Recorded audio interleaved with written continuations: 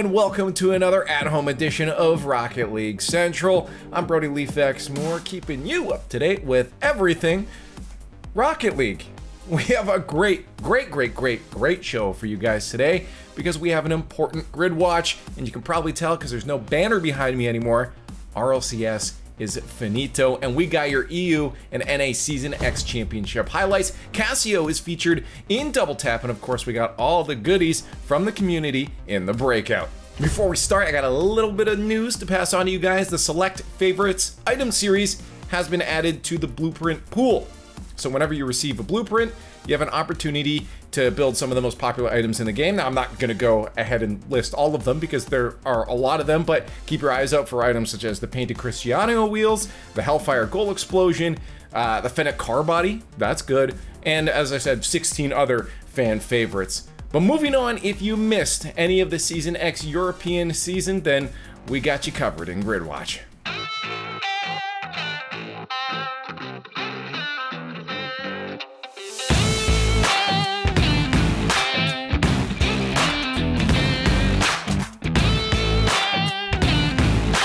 The end of the Rocket League Championship Series' historic 10th season is finally complete. With both Europe and North America concluding the regional championship finals this weekend, there's a lot to cover. It's evident to those who have been following the region that Europe Season X was less of a competition and more of a coronation. In the lead up to the championship, almost everyone thought they knew who would win, but if a miracle was going to happen anywhere, it was going to happen at the championship. Underdogs Team Queso had their first match against Solary, their fellow lowest seed who were determined to not not be sent packing right away. Each team achieved a glorious 3-1 set in the first two series, bringing things down to one last best of five. And of course, the law of drama insisted that it had to go the full distance, all the way to game 5, and a thrilling 8.5 minute long overtime which saw Queso clinch it at last. It's just so many chances that look like it's they're going to go in. What? And that's one. It's in. What? Astral manages to just leave the ball to fly over his head and on the side of Queso, absolute eruption. So elated that this series finally ends after eight and a half minutes. In the upper bracket, Top Blokes was riding high, having just knocked down Guild in their premier match. Unfortunately for them, this meant that they would be up against Team Vitality in the semifinals. European Season X's perennial runners-up who were determined to make it to the grand finals for one last shot at glory no matter what. Top Blokes put up a valiant defense, but ultimately went home in third, unable to pry Vitality from their silver throne. Top blokes. One more chance with time running out. Flame tried the 50. Archie got the catch, but his teammate's gone. Vitality! Down below, Team Queso did an admirable job at cleaning up Top Blokes' leftovers, defeating Guild in a 3-2 series that then gave way to an uncontested 3-0 sweep. But much like the Blokes, they were once again about to be gatekept from the Grands by the ones whom some have called the current best team in the entire world. Demensa with time powers it forward. Is the mistake there? Oh. Up goes Atomic. It goes back down. That's not the, the bounce that Salen needed. He's got to take that oh, ball the whole what? way. He couldn't do so. What? Team BDS. The Grand Finals featured a familiar matchup. Team Vitality, former RLCS World Champions, Season X's infamous Juggernaut squad who won all three of the seasonal majors, and most of the regional events to boot. These rivals had clashed more than half a dozen times over the course of the season, and the time had come to decide things once and for all. But despite defending champion BDS's pedigree, it was Vitality who drew first blood. In an amazing first series, Vitality swept their eternal foes for nothing, using their incredible momentum to power through two consecutive overtimes and end end off with a dominant final game. Adolf looks to get it back over to Alpha. Will Monkey Moon be able to stop it? Wow. It doesn't even there matter if he had. GG. It's four to nothing. BDS Unbelievable. have not been swept in a best of seven all season until wow. now. Team Vitality put one hand on the trophy. They were on the verge of winning it all, only the second series stood in their way. But this is when BDS finally woke up, taking the first two games and pushing a third into a tight overtime. It seemed like the ball was back in their court, but Vitality did not come this far just to lose, clinching the overtime and stealing inertia back. Two games later, and Vitality had done it. They'd toppled the behemoth and emerged victorious, where it counted most. After a season full of ups and downs and second place finishes, they were back on top, reclaiming their former glory as the champions of Europe. Europe. Monkey Moon doesn't quite control. Fairy Peak, it's just straight over to him. Extra. Can't beat Kate up to it at all. It's off the side. Fairy Peak wants Wow. to kill off some more time from the clog. It's gonna be down to oh, wow. four. And Team Vitality. North America's championship was no less exciting, featuring some real nail biters and all around excellent play as every team in the region brought their A game for Season X's last hurrah. Perhaps the most surprising upset of the tournament was Space Station Gaming overcoming Team Envy in the upper semifinals, denying Envy one last dance to cap off their season long rivalry with NRG. The first of their series was extremely close, as three out of seven games ended in overtime. It was a true seesaw match, advantage swinging back and forth with every game until SSG finally closed it out in the final and longest overtime round. The hunger from Envy, but the resilience from Space Station. The shot oh, is on target. Oh, Reynolds will win it for Space Station. What a thriller in Series 1. Mitch tries to get a touch out. Reynolds hits the wing, and Typical tries so hard to make sure Atomic doesn't get to that ball. Space Station Gaming. Envy seemed to fall apart a bit after that, securing only one win in the second series as SSG took game after game until it was all over. An impressive victory for SSG, who have been up and down from top to middle throughout Season X, but a crushing defeat for Envy, a team who had hoped to close out the season by asserting their skill. Atomic will have to keep this airborne. He does. Turbo with just a pad. Riddles. Now back to Mist. The season coming down to this moment for Envy. It's too far, and Space Station will win it. Of course, even if they had made it to the grand finals, there was no guarantee they would have attained their desired match with NRG, as NRG came within a hair's breadth of being eliminated themselves in their respective semifinal match. Their opponents, G2 Esports, who had scrapped their way to the semifinals from the lowest seeding, taking out contenders FaZe Clan and Rogue along the way. NRG wasn't in the best state heading into the semifinals, having temporarily lost their coach thanks to a code of conduct violation. Perhaps it was this, in conjunction with G2's determination and momentum, that led to the longest match of the championship thus far. While the first overtime saturated series went to NRG, their victory was extremely slight, with G2 putting up one hell of a fight. The Ferocity ended up winning them the second series as well, by a larger margin than NRG took the first, too. going to be able to pop that ball off back into the middle and create that space again that G2 has had so much trouble defending. But as it stands, I mean, Chicago and Drees played a, a Drees played a beautiful offensive game here. Chicago a beautiful defensive game. And G2 well defended and well deserved. NRG regained control of the third and final series and ended up closing it out with two consecutive overtime wins. And so the big finale came down to Space Station Gaming versus NRG. But unlike in Europe's Grands, this time it was indeed the region's top ranked team who won the day NRG, squashing SSG in just two series, despite Space Station's best efforts to force overtimes in three out of five of the second series games. NRG have yet again asserted themselves as the best of the West. These final seconds of formality.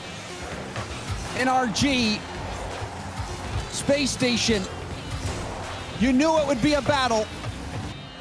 And there you have it. The marathon of RLCS X is over. With these two championships finished, Season X comes to a close. Forced onto the internet due to a pandemic, Rocket League Esports has managed to continue to thrive. What is yet to come for the RLCS is now up to anyone's imagination. The absolute pinnacle of Rocket League play. Honestly, it it's hard to to think now that Season X is over. For the longest time, we were doing two seasons of Rocket League, of league play every single year. You know, we had season one and two crammed into like half a year, and the rest were a bit more spread out, but it still felt like we got up to the season 10 real quick. I mean, it was in the matter of five years. And all of a sudden, we, we split off to this year long format match after match after game after game after series after series and it, it just didn't stop and it's incredible that we could all gather around and celebrate rocket league in such a spectacular moment. And to see it all come to the end is a little bittersweet. I know there's a lot more good rocket league uh, action to come uh, in the future. But with that being said let's check out some of the best plays from the eu and na championships in hot shots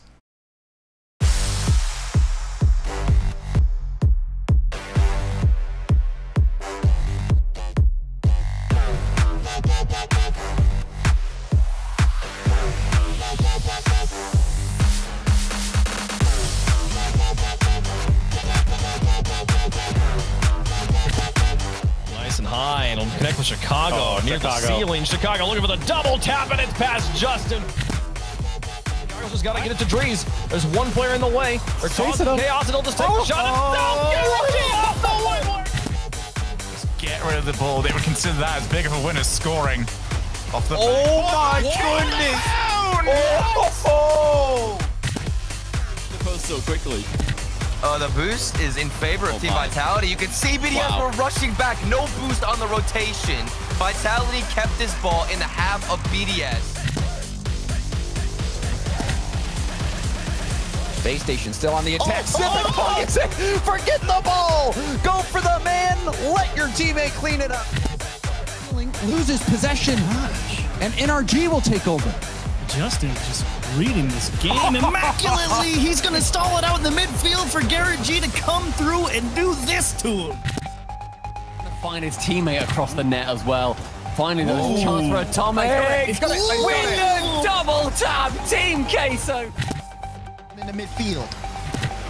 This one will be JKnaps. Has a lot of control. Does get that flip in. Oh my That was gosh! Oh! A little bit more here in this game. Here comes First Killer oh. again, looking for a second touch. First oh. Killer all the way. Highlight play for him.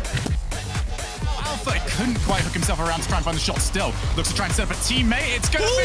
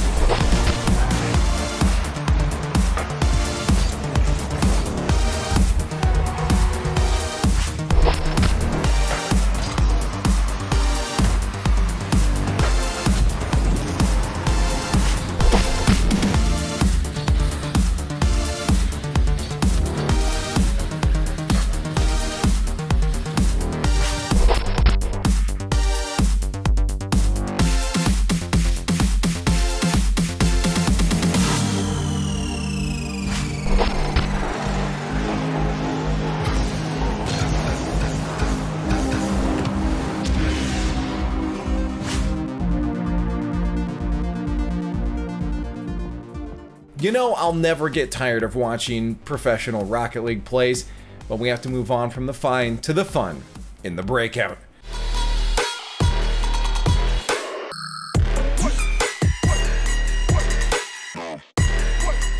First up is Tom Incognito that finds sometimes Rocket League is more akin to a waltz.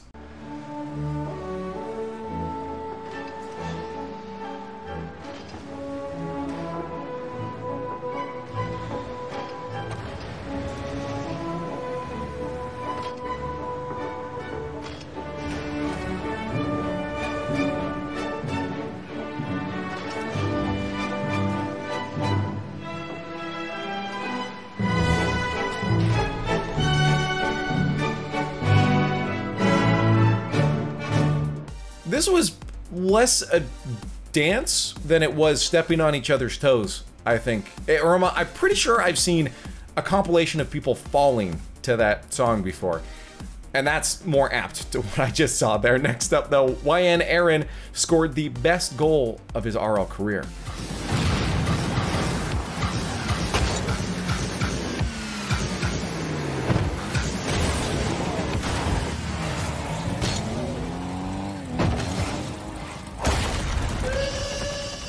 I'm going to be real, I've heard from multiple people, including pros, that the best goal they have ever scored is on their own net. So don't feel too bad, just maybe do some Photoshop and see if you can change the color of your car. Maybe. Moving on though, Rusty, ooh, will do anything for a pass.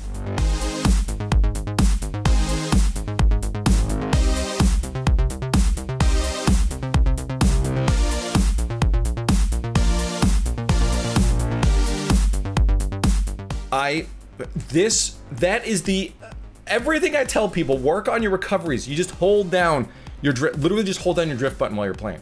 And, and that's what happens. Work on your recoveries by holding your drift button. And that's what happens. Beautiful.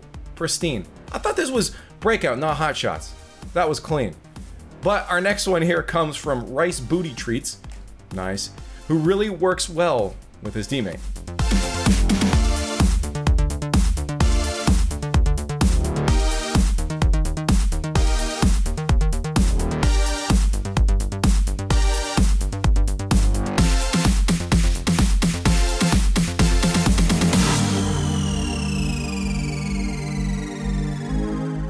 Say, th- th- honestly, that's probably way harder than scoring a normal goal. Granted, there might have been a little bit of luck involved, but quality breakout post, I must say.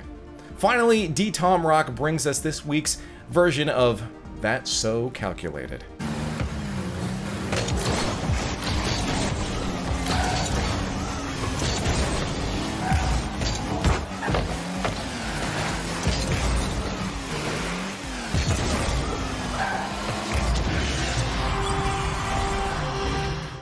At the end of the day, you only have yourself to blame, and you missed an open net. Of course, you're gonna get punished.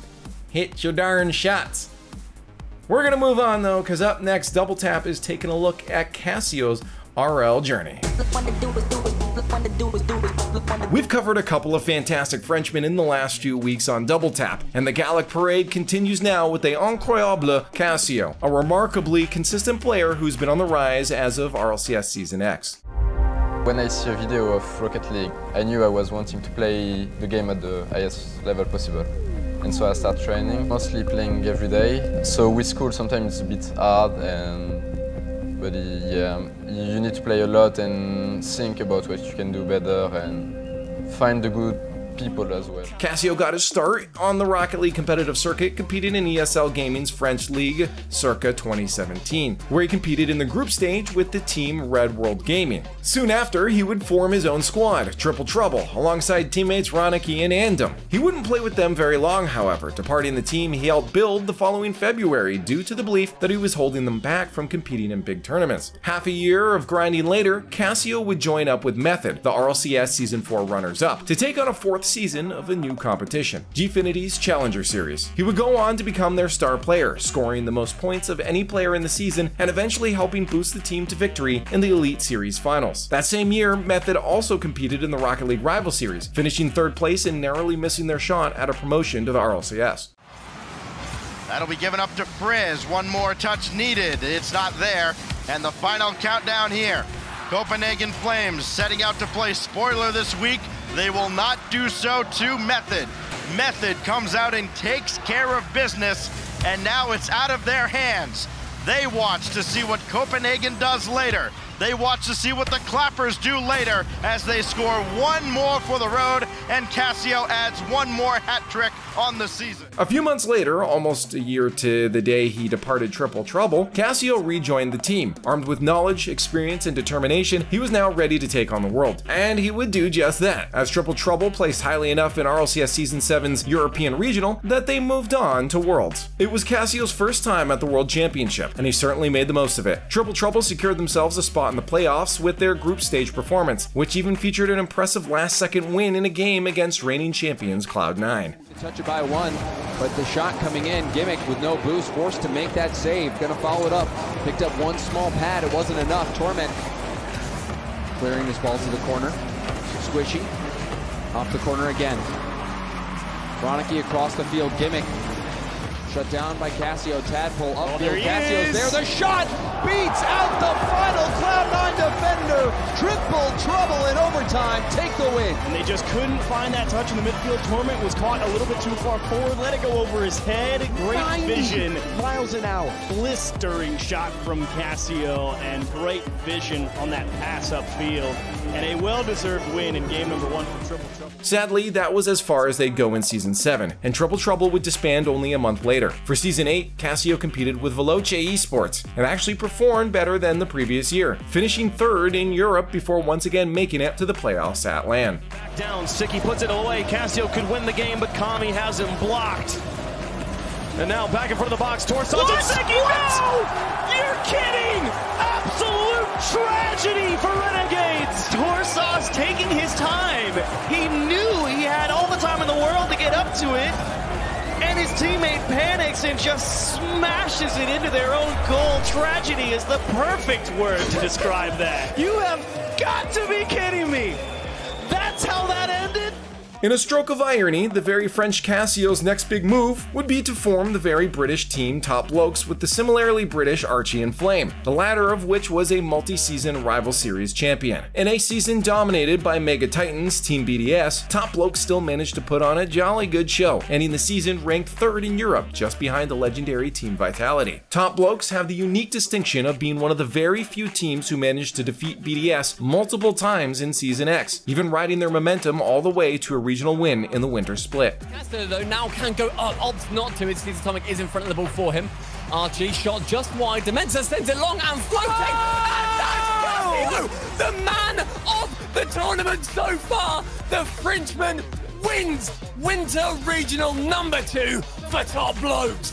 All that work and one read from Kassio is enough to sink the fight of Team Queso, but what a fight it was. Top Blokes may have a fairly new roster, but their legacy is already off to an excellent start, and one of the secret keys to their success is undoubtedly the perseverance and skill of the one and only Kassio. You know what? I think it's real cool that we're doing these dives into some of these players that aren't the legends. A player like Kassio can sometimes go underlooked, uh, and teams like Top Blokes because they're not Vitality, they're not BDS, they're not NRG. But that's not fair to them because these players are still phenomenal. I've been matched up a couple times here and there against some of these pros uh, in ranked or something. And you're like, okay, I can do this. You very quickly realize that no, you absolutely cannot, even against the lowest of the RLCS placing teams. It is, uh, I think it's real cool that we can we can showcase how good and how much work a lot of these players put into it, and how much even us analysts sometimes underestimate them given what happened to the top blokes during the RLCS championship. So I think that's a perfect example right there. But that is all the time that we have for today. Thank you guys so much for watching. Of course, you can check out more of our content on YouTube and on Twitter at Squad State. Thank you guys so much for watching again. And for a little overtime action, here is your weekly backfire.